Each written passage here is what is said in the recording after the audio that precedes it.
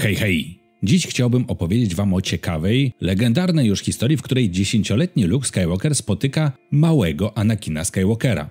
To całkiem odjechana historia i w zasadzie no, nie rozstrzyga jednoznacznie, czy była to wizja mocy o głębszym znaczeniu, czy tylko zwidy i wyobrażenia młodego Luka Skywalkera spowodowane przez burzę piaskową. Chociaż, no jak wiemy doskonale, moc jest wszędzie. Ale zaraz, zaraz, o co chodzi? Już opowiadam.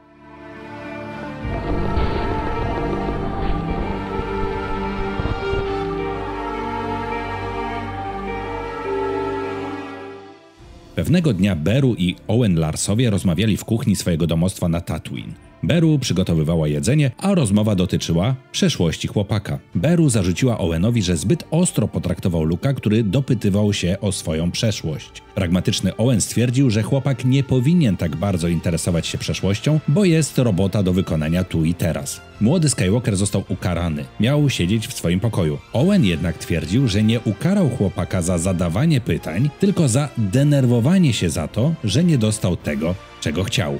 Beru nawet mówiła wtedy, że być może lepiej byłoby zmienić chłopakowi nazwisko. Temu jednak sprzeciwił się Owen, mówiąc, że to naruszyłoby pamięć o Szmi. Nad Tatooine przetaczała się wtedy spora burza piaskowa i wszyscy byli zmuszeni do siedzenia w domu. Młody Luke jednak wymknął się z domostwa. Kiedy chłopak błądził w burzy piaskowej, dusząc się od piasku, który jest wszędzie i wszędzie się wdziera, słyszał głosy z przeszłości. Masz siostrę. Twoje uczucia zdradziły ją także. Twin sister. Your feelings have now betrayed her too. Wśród piasku młody Luke dostrzega majaczący ciemny kształt. Moc jest w nim silna. Chodź ze mną. Wydaje się, że Luke całkowicie zagubił się we mgle, choć do domu mógł odejść ledwie kilkaset metrów. Nagle mroczny cień rozwiewa się i Luke widzi idącego w jego stronę chłopca. Chłopiec wydaje się całkowicie realny. Pomaga Luke'owi wstać z kolan. Dzieciak przedstawia się jako Ani.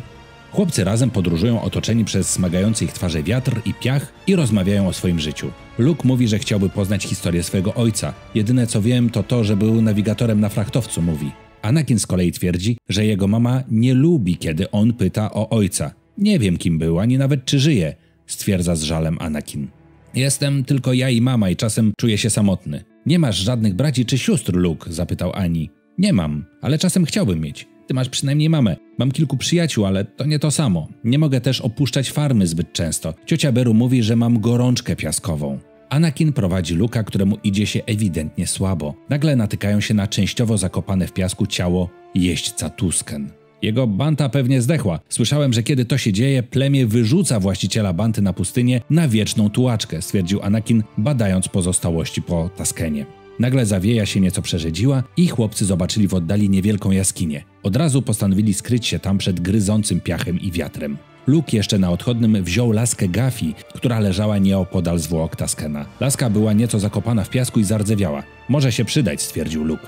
Chłopcy schowali się w jaskini i rozpalili ogień, aby się nieco ogrzać. Podczas rozmowy okazuje się, że mają podobne marzenia. Zostać pilotem i uciec z tej planety. Ani chwali się swoim podrejserem, a Luke marzy o skoczku T-16, którym będzie mógł ścigać się po kanionie żebraków. Nagle okazuje się, że jaskinia jest zamieszkała. Chłopcy zostają zaatakowani przez skuszone ogniem dziwne kreatury. Może to szczury pustynne?